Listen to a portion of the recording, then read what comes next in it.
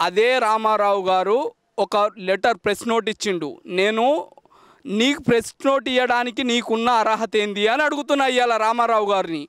ఎందుకంటే రామారావు గారు మీకున్నది మున్సిపల్ శాఖ ఐటీ శాఖ రెండు శాఖలకు మంత్రి. నువ్వెట్లా ప్రెస్ నోట్ ఇస్తావు? అయితే గీతే ఇలా ముఖ్యమంత్రి ప్రెస్ నోట్ పెట్టాలి లేదా చీఫ్ సెక్రటరీ పెట్టాలి లేదా ఆర్థిక శాఖ నుంచి పెట్టాలి. కానీ నువ్వు ఎట్లా పెడతావు? నీకున్న అర్హత ఏంది నువ్వు ఇచ్చిన ఏదైతే లెటర్ ఉందో నువ్వు విడుదల చేసిన లెటర్లో ఒక పక్క ఒక పక్క Transco Genco TSP SPDCL NPDCL అని చెప్తావు. ఒక రొ- రెండో పేజీలో. మూడో పేజీలో కూడా అవే అంశాలు చెప్పి అవే ఉద్యోగాలను చూపెడతావు. మీకన్నా ఏమైనా స్పష్టత ఉందా? ఇలా లక్ష ముప్పై రెండు వేల ఉద్యోగాలని మీరు ఇంత బాహటంగా మీడియా ముంగట చర్చ పెడుతుండ్రు. నువ్వే ఒప్పుకున్నావు కదా మేము పూర్తి స్థాయిలో నియామకాలు చేయలేమని. అందుకే కదా మేము రమ్మ రమ్మనే సవాల్ని ఆర్ట్స్ కాలేజీకి వస్తావా? లేకపోతే ప్రగతి భవన్కి రమ్మంటావా? లేకపోతే మీరు ఉన్నారు కదా మీడియా మీ సాక్షిగానే మేము వస్తాం మీ మీ మీ ఫామ్ హౌస్కి రమ్మంటావా అని సవాలు ఇచ్చినాం ఆఖరికైతే రెండో రోజో మూడో రోజో మేము పూర్తి స్థాయిలో నియామకాలు చేయాలని ఒప్పుకున్నాం ఒప్పుకున్నారు. సంతోషం మాకు. మేము ఆ రకంగానైనా మీరు మీ వైఫల్యాలని ఒప్పుకొని ఒప్పుకుంటే మేము వదిలిపెడతాం. మీరు దాన్నైనా మేము మార్చుకుంటాం. మేము మా పద్ధతులను మార్చుకుంటామని చెప్పు ప్రజలకు. మాకు విద్యార్థులకు ప్రజలకు ఉద్యోగులకు అందరికీ చెప్పండి. ఈ తప్పులు జరిగినాయని. తప్పులని కింద ఏదో అంటారు కదా తెలంగాణ భాషలో తప్పులని కింద పెట్టుకొని నేనేం మంచుకున్నాననే మాటలు చెప్తారు. ఈ ముచ్చట్లు బంద్ చేయండి. ఫస్ట్ బంగ్లాలకెళ్ళి బయటికి వెళ్ళి ప్రజలకు బాధలు తెలుస్తాయి. బాధలు కడుపులో మంట ఎంత ఉంది కడుపులో బాధ ఉంటుంది ఏ ఒక్క పెన్షన్ ఇవ్వగానే అరిపోదు పెన్షన్ ఇస్తే మా కడుపులు నిడతాయి. పెన్షన్ ఇస్తే మా ఉద్యోగాలు వస్తాయి. పెన్షన్ ఇస్తే నా ఇంట్లో నా బిడ్డకు ఉద్యోగం వస్తుంది. ఏం నేర్చుకున్నారా ఓటు బ్యాంక్ పాలిటిక్స్? అవి బంద్ చేయరు ఫస్ట్. సంక్షేమం ఏం కావాలి? ఒక రైతు ఎట్లా బాగుపడాలి? ఉద్యోగి ఎట్లా బాగుపడాలి? నిరుద్యోగి ఎట్లా బాగుపడాలి? అనే విషయాలు నేర్చుకోండి. నేర్చుకొని వానికి స్వతహాగా వాని కాళ్ళ మీద వానికి నిలబడే ప్రయత్నంని ఒక దారిని చూపట్టుండ్రి తప్ప ఈ ఈ పిచ్చి పథకాలు తీసుకొచ్చి ఎన్ని రోజులు ఉంటాయి ఆ పథకాలు? ఇవాళ రెండు మూడో రోజులు రేపు ఇంకో పార్టీ వచ్చి ఐదు వేల పెన్షన్ ఇస్తా అంటుంది. నీకు ఎవ్వడోటేడు గుర్తుపెట్టుకో పెన్షన్లు పనిచేయి వాని జీవితాన్ని నిలబెట్టే పనులు చేయండి వాని భవిష్యత్తుకు పునాదులు వేయండి మాకు మేము మేము మీకు వ్యతిరేకమని చెప్తలే.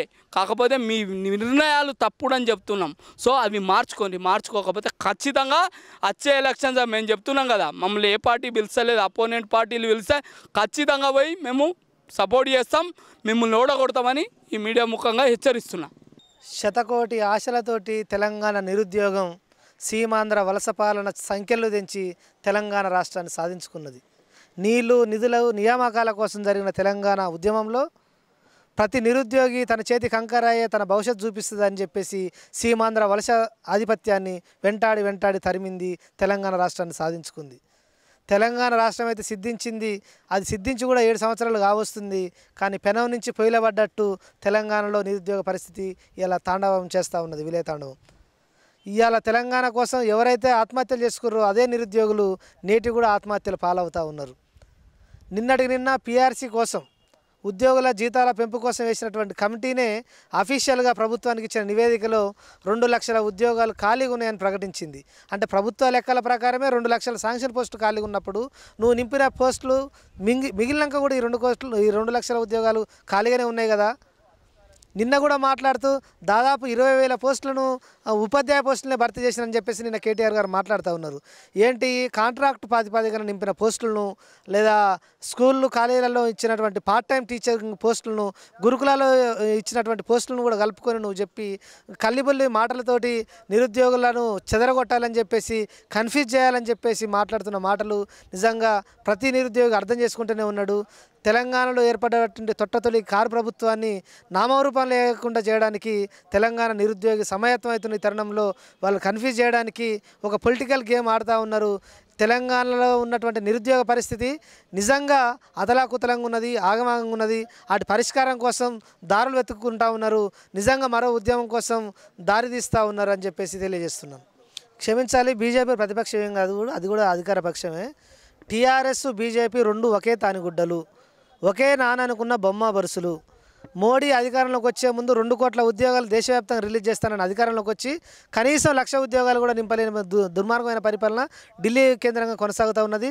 హైదరాబాద్ కేంద్ర కేంద్రంగా కొనసాగుతున్న కేసీఆర్ పరిపాలన కూడా ఇంటికో ఉద్యోగం అని చెప్పేసి కనీసం ఊరికొక ఉద్యోగం కూడా లేని పరిస్థితి ఇక్కడ కనిపిస్తూ ఉన్నది కాబట్టి ఆ రెండు తానుగుడ్డలు మేము ప్రతిపక్షం మేము అధికార పక్షం అని చెప్పేసి ఒక పొలిటికల్ గేమ్ ఆడుతూ వాళ్ళిద్దరు నడిపిస్తూ ఉన్నారు.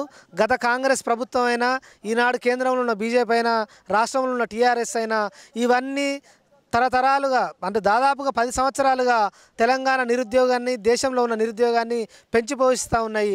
రోజు రోజుకు ప్రైవేటీకరణ పెంచుతూ పోతూ ఉన్నారు.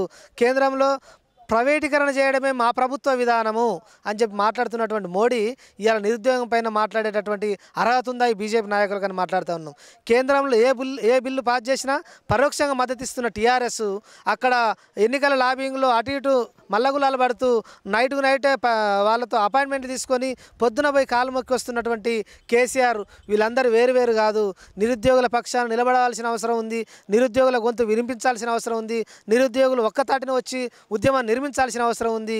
అయితే ఈ ఎమ్మెల్సీ ఎలక్షన్ తోటి ఒక నిరుద్యోగ యూనిటీ ప్రభుత్వాలు ప్రతిపక్షాలు లేదా కేంద్రంలో ఉన్న ప్రభుత్వాలు ఓడిపోతే ఈ నిరుద్యోగ వాయిస్ గెలిచినట్టు కాదు. లేదా వాళ్ళు గెలిస్తే నిరుద్యోగ వాయిస్ పోయినట్టు కాదు. ఎన్నికలతో తావు లేకుండానే ఎన్నికల ఫలితాలతో ప్రమేయం లేకుండానే ఒక నిరుద్యోగమైన మూమెంటు జరగాల్సి ఉంది. ఇవాళన్న ప్రభుత్వం అయినా లేదా రేపొచ్చే మరే ప్రభుత్వం అయినా నిరుద్యోగ అంశాన్ని పరిష్కరించకపోతే నిరుద్యోగుల సమస్య పైన మాట్లాడకపోతే ఈ సమస్యకు శాశ్వత పరిష్కారం చూపకపోతే ఖచ్చితంగా నిరుద్యోగుల యూనిటీ ఉంటుంది ప్రభుత్వాలను పడగొడుతుంది. వాళ్ళే ప్రభుత్వంలోకి వచ్చి నిలబడేటటువంటి ఒక కొత్త నూతన అధ్యాయానికి దారితీస్తారని చెప్పేసి నా ఆశాభావం వ్యక్తం చేస్తూ ఉన్నా.